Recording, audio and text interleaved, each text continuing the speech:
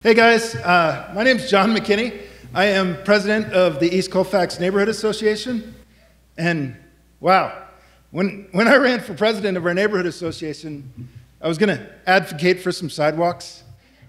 yeah, clean up a few alleys. And afterward, I was going to have a few brewskis with my neighbors.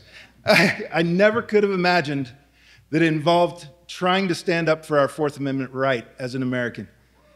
And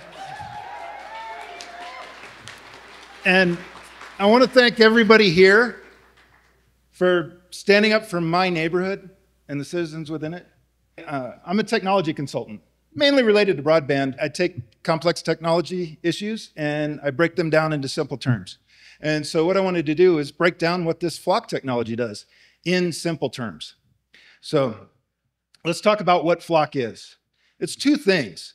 Number one, it's a series of cameras. And we, we're used to cameras all over the town. These cameras work off a solar panel. They can be mounted on a street light. They can be mounted on a post.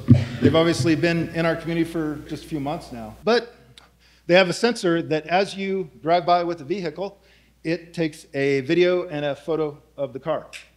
Now, with that, it takes that photo, um, does a little bit of magic uh, inside of the camera, but not very complicated magic. These um, and then it